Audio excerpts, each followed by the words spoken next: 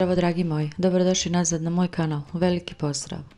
U iznenađujućem otkriću, turska glumica Beren Demirkaja bacila je svjetlo na prva osjećanje svoje koleginice Sili Turkogul.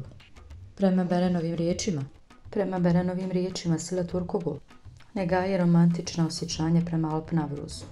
Kako se ranije spekulisalo, već je zapravo zaljubljena u svog kolegu Halila Ibrahima Džihana, Sila Turkogul i Alpnavruz, koji su popularnoj seriji očarali publiku svojom harmonijom na ekranu, bili su u središtu romantičnih spekulacija. Međutim, iskreno otkrivanje Berenda Mirkaje tokom nedavnog intervjua promijenilo je narativ.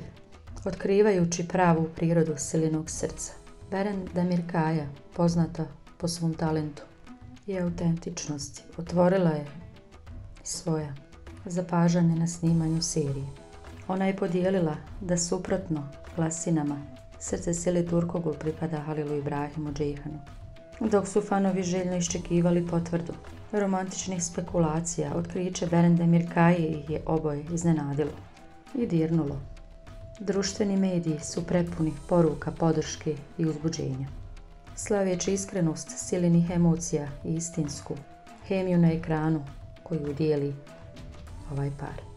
Predstavnici Sili Turkogul, Alp Navruza i Halila Ibrahima Džihana izrazili su zahvalnost za iskrenost Berende Mirkaje i pojasnili da ovo troje dijeli snažno prijateljstvo na ekranu i van njega. Veliki pozdrav!